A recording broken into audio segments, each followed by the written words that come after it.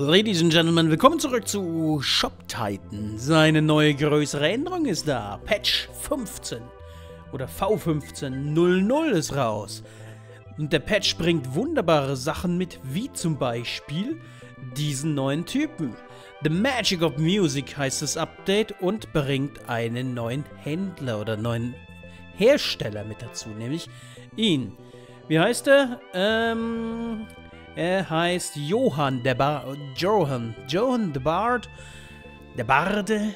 Sieht man schon, er hat Magie in seinen musikalischen Instrumenten und bringt noch mal mehr Mechanics mit rein. Aber reden wir doch mal mit ihm. Hi, oder ich bin Johann der Barde. Ich bin gerade erst hergezogen und naja, äh, ich habe noch nicht so viele Freunde. Ich kann magische Instrumente und äh, Aura-Lieder herstellen. Ganz recht. Das perfekte Geschenk für Champions. Was noch? Oh, mit Hilfe meiner magischen Musik kannst du zwei Möbelstücke gleichzeitig verbessern. Wenn du meine Fähigkeiten brauchen kannst, helfe ich nur zu gern. Uff. Mm. Mm. Okay, ist das das komplette Bundle? Ey, ähm, kann man den auch nur kaufen oder muss man hier das Gedöns hier auch mitkaufen? Oh, oh, okay, dann bis später. Ja, die Stadt hat sich dementsprechend erweitert. Oh ja, oh, oh ja, oh, oh, oh. Ein bisschen rausgezoomt. Bisschen Platz zwischen den einzelnen Orten. Da ist auf jeden Fall Platz für weitere. My specialty is crafting, magical instruments und... Ah, okay, auf Englisch nochmal. Tja, dann muss ich wohl zuschlagen, nicht wahr? Jawohl, es ist vollbracht. Du hast Johann der Barde erfolgreich gekauft. Falls ihr euch selbst ihn euch holen wollt oder was anderes im Epic Game Store, denkt daran, als Creator Code könnt ihr Wuchi Games ein eingeben, ja, um mich zu unterstützen. Das wäre super nett, aber natürlich jederzeit nicht notwendig. Trotzdem sehr dankbar, falls es mal geschieht. Triangel. Hm. Okay, Musikgegenstände. Und das ist was Interessantes. Die Auren. Okay, die Übersetzung ist noch nicht so richtig gelungen, aber Auren sind eine neue Art von Gegenstand. Leuchtende Aura, blablabla. Wir haben hier Johann. Wir können doch gleich mal da rein investieren, oder? Gleich mal. Gleich mal. Okay, so viel kann ich da rein investieren. Okay, so viel Geld habe ich gar nicht. Uh, mach mal 500. 500 Ticks kann ich mal schon mal spenden. Dem guten Johann. Moment. Wollte gerade sagen, da haben schon einige reingebuttert. Ja, ordentlich. Schaut euch das an. Aber gut. Geben wir mal erstmal 500. Ich sammle mal. 13er Stufe. Na gut, na gut. Okay, Johann ist ein neuer NPC, beziehungsweise Handwerker. Zwei neue Arbeitsreihen werden dadurch freigeschaltet. Äh, was habe ich jetzt? Unterstützer. Ach, ich habe habe ich so viel Geld schon investiert? Ja, also normalerweise für Angebote und sowas gebe ich kein Geld aus, aber die Worker habe ich ja beim Letz im letzten Jahr am Black Friday zugeschlagen und ja, mh, hm, die Worker. Dafür, dass ich dieses Spiel, glaube ich, eineinhalb Jahre mittlerweile spiele, ist das, glaube ich, okay, wenn ich da alles, alle halbe bis ein Jahr mal 20 Euro in die Hand nehme. Knapp. Das ist vertretbar für meinen sehr sparsamen Gedanken oder Mind. Also, ich habe ja Ziele finanziell und die müssen erreicht werden. So, wir wollen uns aber jetzt auch die neuen Sachen anschauen. Deswegen, weg mit euch, Gesindel. Geht fort aus meinem Laden. Apropos meinen Laden. Ich bin jetzt mittlerweile dabei, alles auf Stufe 15, also hat nahezu alles ist jetzt auf Stufe 15. Und das ist jetzt geil, dass ich jetzt zwei Dinge gleichzeitig machen kann. Also, das nutzen wir eiskalt aus. Ah, das will ich doch gleich mal sehen. So, jetzt ist jedes dieser Gerätschaften hier auf Stufe 15. Das ist schon mal geil. Ich liebe Symmetrie. Und, tja, ich könnte jetzt uh, doppelt so schnell hier die Sachen alle fertig machen. Auch nicht schlecht. Also ich würde gerne... Hier wird das schweineteuer. Hm, ja, das wird super schweineteuer. Hm... Vielleicht sollte ich mal Sachen verkaufen. Ich sammle gerade Geld. Beim letzten Event habe ich ziemlich viel, ja, gemacht. Ja, gib mir Geld. Limitiert die Edition. Jawohl, her damit. Ja, gib mir Geld. Jawohl, schön. Das können wir gut gebrauchen gerade. Das Geld können wir echt gut gebrauchen. Ähm, mein größter Druckpunkt ist gerade, oder mein größter Schmerzpunkt ist gerade nicht unbedingt Energie. Da bin ich gerade so zufrieden, aber ich glaube, dadurch, dass ich jetzt zwei Sachen erweitern kann, werde ich jetzt anfangen, hier, das da ein bisschen zu erweitern. Hauptsächlich habe ich die Engpässe tatsächlich weiterhin hier. Bei den Sachen. Oh, die sind nur schweineteuer und kann ich mir nicht leisten. Und Stufe 73, äh, wobei, hä, hä, kann ich mir das vielleicht leisten? Ich kann es mir vielleicht schon leisten. Ich müsste halt bloß da die Hoffnung aufgeben, weil ich hoffe eigentlich, dass mir endlich jemand mal schöne Platin-Armreife gönnt. Aber das macht halt keiner freiwillig. Die wollen sie alle selbst haben. Keine Gönner hier im Spiel. Keine Gönner. Na gut. Dann schauen wir noch mal, wie viel Geld ich in Wirklichkeit habe. Ja! Jede Menge Geld. Hm, deine Auflistung. Das sieht anders aus. Da stand was anderes davor dort. Hm, dann können wir ja äh, noch ein bisschen mehr pushen. Ja, übertreiben müssen wir es jetzt auch. Ne? Hm, machen wir mal... Ja, auf 900. Ah, das ist doch eine gute Zahl, oder? Aber da bin ich Top 2. Ja, passt. Sweet ist ein bisschen höher. Ach, tot. Das ist schon enttäuschend, ja. Nicht wahr? Nein, Quatsch. Alles gut. 900. Ist schon mal ein guter Anfang. Wird auch erstmal die nächste Zeit nichts anderes sein. Arbeiter. Jawohl. Mm, mm, mm. Da ist er. Johann der Barde. In Safi Theater haben wir investiert. Müssen jetzt noch andere machen. Hoffentlich. Und jetzt sind wir auch nahezu hiermit fertig. Dann können wir doch mal die neuen Sachen gleich mal produzieren oder anschauen. Andererseits, oh, beziehungsweise, ja, anschauen ist so eine Sache. Wer kann denn überhaupt die Sachen nutzen? Das bei den Helden? Weiß ich gar nicht, wofür diese Instrumente überhaupt gebraucht werden. Wo sind die überhaupt? Hier? Ne, das sind Aura-Teile. Oh, Instrument ist eine Waffe. Oha. Sieh mal einer an. Ah, endlich kann man mal wieder dieses Zeug loswerden. Oh, und ich habe endlich wieder Quest, also Entwurf rein, außer Stufe 12. Weil aktuell bin ich ja eigentlich dabei, Stufe 12 zu machen. Ich muss die ganzen, oh, die ganzen guten, äh, was sind's, wie heißen sie, Entwurfsschriftrollen oder wie heißen sie? Die lila, äh, die da, die Aufstiegsschriftrollen muss ich die ganze Zeit umwandeln in Entwurfsschriftrollen, weil, äh, Stufe 13 Gegenstände freizuschalten kostet halt mal 200. Ich habe nicht so viele Entwurfsschriftrollen, um da, da, alles fertig zu bekommen. Der letzte Tod, oje. Oh hm. Dementsprechend, ja. Äh, ich habe schon ausgerechnet, hier, hier fehlt mir noch 200, 400, 600, 800, 1000, 1000, 1400, 1600, 800, also 1800, 2000, 2200. 2200 Sachen müssen, glaube ich, ja, vielleicht habe ich ja noch einen Premium-Gegenstand, den ich verpasst. Ah, der hat eigentlich keine. Okay, 2000 dann ungefähr.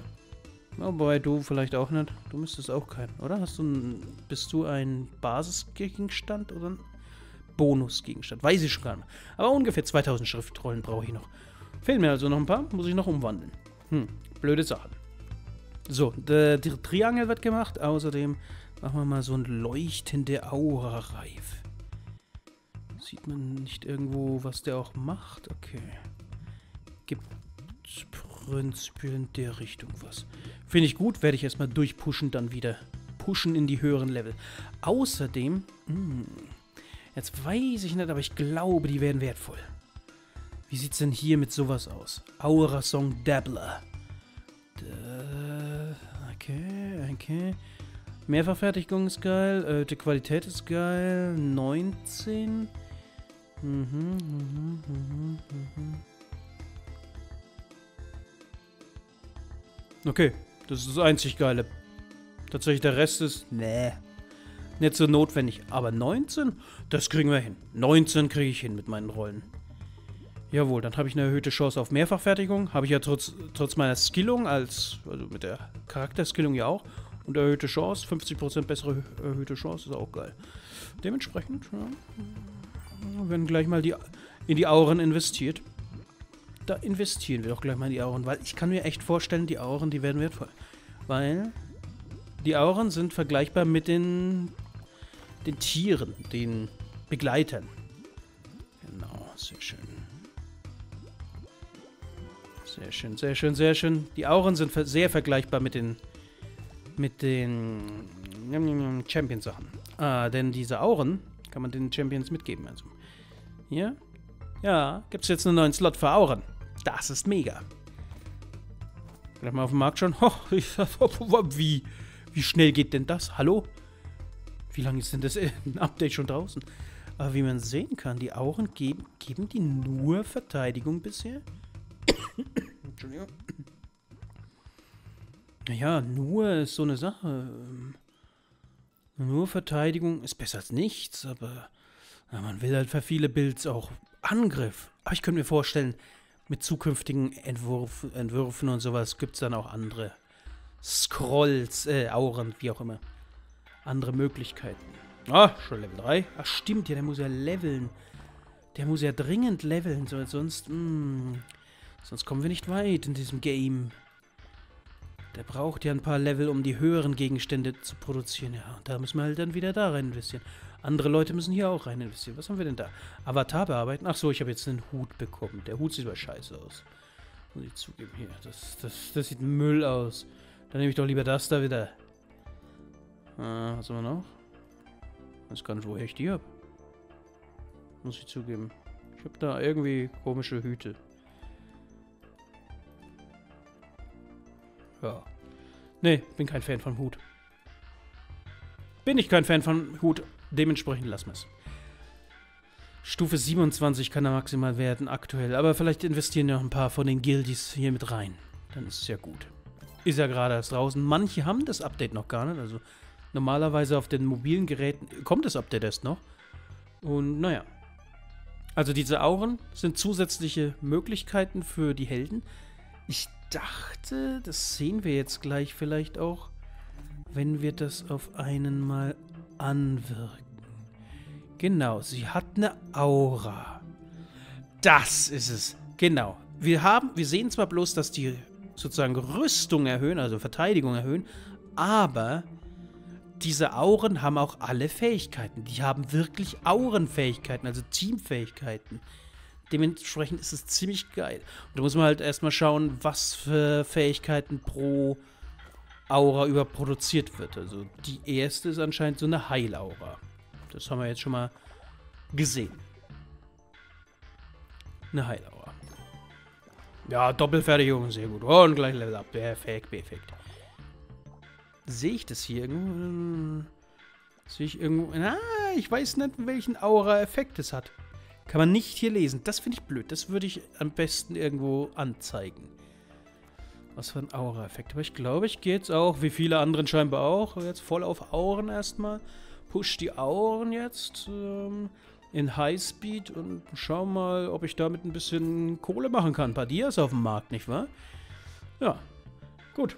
Okay, neuer Bart, äh, neuer, neuer Held. Wir sollten ja, wollten ja, ja, wir könnten ja ich werde mal hier... Wie lange dauert das? Zwei Tage... Ja... Hm. Wobei, ich habe das Geld. Das Schweine viel Geld. Dann investieren wir doch mal hier rein. Boah, sechs Tage. Ja, gut. Bis dahin muss ich wieder ein bisschen Geld ansammeln. Ja, I love it. Oh, jetzt gibt es so viele, die jetzt also, hier bauen. Kann man viel mehr Leuten helfen jetzt in der Gilde. Das gibt ja auch immer Punkte. Wenn denn jemand was will, hier gibt es ja Punkte. Aber keine. Oh, ja, sehr gut. Stufe 29 schon. Ja, gut gemacht, gut gemacht. Aber da gibt es noch viel Potenzial. Viel Potenzial.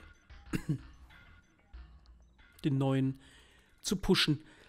So, ähm, genau. Jetzt kann ich hier fleißig alles weiter ausbauen. Wahrscheinlich wird jetzt die, der Fokus sein, hier bei den Ressourcen alles nochmal hoch zu pushen. Wobei ich tatsächlich hm. Wenn ich ab irgendeiner bestimmten Größe von den Behältern ist es irgendwann sinnvoll, vielleicht einen sogar wegzumachen. Aber noch bin ich nicht in dieser glücklichen Situation gelandet. Dementsprechend cool bleiben, still bleiben, alles in Ordnung. Ja, dann habe ich auf jeden Fall in der nächsten Zeit was zu tun. Ich kann jetzt die Musikinstrumente und diese Runen richtig hochpushen. Das ist super. Und wir schauen jetzt einfach auch nochmal das Update. Was hat es denn noch gebracht? Hat es denn noch was gebracht? Ähm, ich schaue mal gerade die Patch Notes sozusagen durch. Mm, mm, ja. Ach ja. Es gibt jetzt auch was ganz Neues, was fürs Endgame Neues. Vielleicht habt ihr, wenn ihr das Spiel spielt, auch so ein paar Titanenseelen rumliegen. Meine kann ich noch gebrauchen, also ich sehe hier schon noch, ich habe noch ein paar, die hier eine brauchen, also eine bräuchte ich noch, dann kann ich alle erstmal upgraden. Aber dann, wenn wir Titanenseelen bekommen, die bringen halt erstmal nichts. Und längere Spiele, die haben wahrscheinlich jede Menge Titanenseelen rumliegen. Jetzt gibt es eine Möglichkeit, diese zu craften. Ich weiß jetzt bloß gar, gar nicht... Ähm, Fusion. Schauen wir mal, ob ich die... Ja, alles gut, alles gut. Beruhig dich. Und schauen, haben wir die, diese Möglichkeit? Ja. Schauen wir mal an. Schau da mal an. Jawohl. Noch nicht richtig. Oh, Markt? Lol. Achso, ich brauche dafür einen legendären Gegenstand der Stufe 10. Die Chance ist aber dafür 100%. Ich könnte mir sogar zweimal könnte ich das machen, wenn ich dann die Steine mache. Und natürlich brauche ich auch Erstmal zwei legendäre Gegenstände der Stufe 10. Was machen die Champion-Seelen? Äh, die Champion-Titan-Seelen. Dasselbe, was der Name sagt, also Champions. Upgraden. Mm. Ein Champion, der so eine Titanseele verpasst bekommt, kriegt sozusagen zwei Level-Ups. Also die kriegen ja jetzt noch weiterhin immer ein bisschen Rank-Up, Level-Ups. Also ja, der Effekt ist jetzt nicht so mächtig wie bei einer Titanseele auf einen normalen Helden. Aber, naja, warum nicht? Mh, außerdem kriegen alle Stat-Boosts von früher bis auch zukünftig nochmal 50% Aufschlag. Heißt, ja, ich glaube, das ist schon mächtig. Wenn man bedenkt, also ich weiß nicht, was mit den Level-Ups oder, ja, wie heißt es hier, Rank-Ups sozusagen gemeint ist, aber, ja doch, so heißt es eigentlich, wenn man in einen Wein, also wenn man hier die Coins zusammen habt, um hier einen, genau, das da heißt Rank Up normalerweise. Rang aufsteigen sozusagen. Und wenn man davon schon sehr viele hat, ist der Held prinzipiell oder der Champion schon gut gebufft, aber man kriegt durch diese Champion Titan Soul zwei Rank-Ups geschenkt und zusätzlich 50% Wert aller bisherigen und zukünftigen Rank-Ups. Heißt, ja, jeder braucht, jeder Champion braucht so eine Helden, Titan, Seele, Champion, Titan, Seele, so heißt sie. Fünf. Das sind zehn im Moment. Ach, ich brauche ja bloß 20 Titan-Seelen. Äh, Seelen. Titan-Sohlen. Jawohl. Das hört sich doch chillig an, nicht, oder? Chillig. Da hat man auf jeden Fall was, wo man noch länger farmen kann. Würde ich einfach mal behaupten. Ja, das ist doch eine super Sache, oder? Hat man wieder ein bisschen mehr Endgame. Man braucht Stufe 37 den Sonnendrachen, aber den haben wir in der Gilde zumindest schon auf Stufe 37, um das überhaupt machen zu können. Dementsprechend alles gut. Also Sonnendrache ist das da. Stufe 37 passt. Alles gut. Wunderbar. Tja, genau. Dass die Stadt sich erweitert, haben wir schon. Mm, mm, oh, das ist interessant. Antikstore. Eine weitere Änderung ist, sobald man etwas im Antiken Store oder im Glücksstore, ist das das der Glückspalast? Äh, machen wir es doch einfach mal. Ja! Schaut euch das an. Das wird dann automatisch direkt ersetzt. Genauso im Antikstore. Das ist, glaube ich, für mich der Store oder die Kaufmöglichkeit für Goldstadt-Event, glaube Nee, nicht Goldstadt, ich meine Gunst des Königs. Ich glaube, das ist der Antikscore, wo man mit diesen grünen Münzen irgendwie ja, Entwürfe von früher kaufen kann. Auch ziemlich geil. Ich habe tatsächlich beim letzten Event viele Entwürfe gekauft, weil ich mir gedacht habe, ich brauche die Entwurfsschriftrollen für, ja, um Stufe 12 alles zu schaffen. Das finde ich eigentlich auch ziemlich cool. Hm. Außer Balance Changes reduced the maximum tier of items requested by champions to 10. The maximum tier. Okay, die Helden kommen ja manchmal und wollen prinzipiell irgendwelche Items haben. Dafür kriegt man ein paar Coins für sie, damit man sie irgendwann eine Rank-Up machen kann. Und da ist anscheinend das. Anscheinend gab es höhere als Stufe 10. Habe ich nicht so häufig mitbekommen. Tatsächlich kommen die eher an und suchen das Billigste vom Billigsten, das kein Mensch irgendwie auf dem Markt hat, weil das kein Mensch mehr produziert. Dementsprechend ist schon spannend. Naja. Und außerdem gab es ein paar Bugfixes, aber das ist, ja, Bugfixes gibt es immer mal. Wenn wir keine Bugs sehen, dann... Wobei, ich hatte letztens einen sehr interessanten Bug. Ich habe da irgendwie ein Schild verkauft an einen, der hier draußen war. Also hier sowas habe ich halt ein Schild verkauft. Und währenddessen habe ich irgendwie den Screen gewechselt, bin kurz wieder zurück. Auf einmal war, war der Schild so groß wie mein Bild, mein kompletter Ausschnitt vom Bildschirm. Und der hat ihn sich umgeschnallt, so groß wie mein Bildschirm. Ist rausgegangen, so groß wie mein Bildschirm. Ein bewegendes, so groß wie mein Bildschirmschild, das er dann rausgetragen hat. Bis er aus dem Bildschirm hier verschwunden ist. Dann hat sich's aufgelöst. Das war auf jeden Fall. Ach, das, das sind so Bugs, die, die sieht man gern. Solange sie so kosmetische Bugs sind. Das sind, das ist not a bug, it's a feature, würde ich dann sagen. Dementsprechend alles super Sachen.